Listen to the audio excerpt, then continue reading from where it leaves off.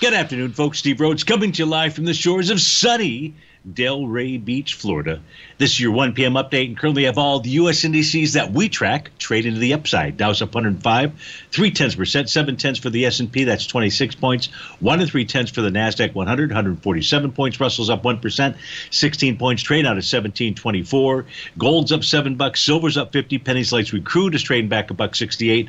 117.24 is the print there. Natural gas up 43 cents. And the 30-year Treasury is up almost one point. Trading out at 132.08.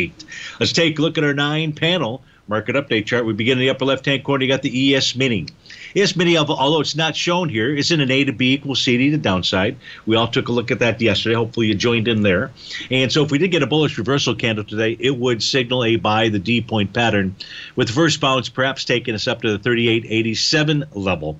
If we take a look at the spot volatility, it is trading lower. That's to be expected with the S&P up and price right now is back below. It's inside its Bollinger Band reading.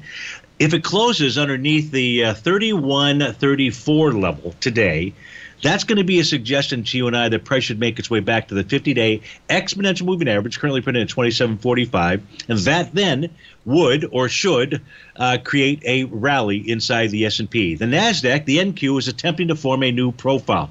This uh, happened for us, not to us. It happened just as we were coming on the air. The bottom of that profile. So this tells us now it may not form, although it's likely to form.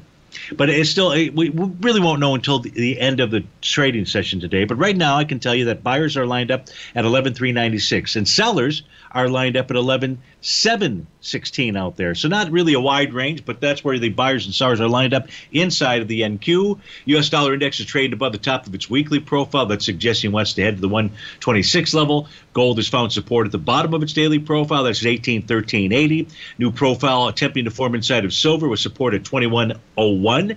Resistance 2239.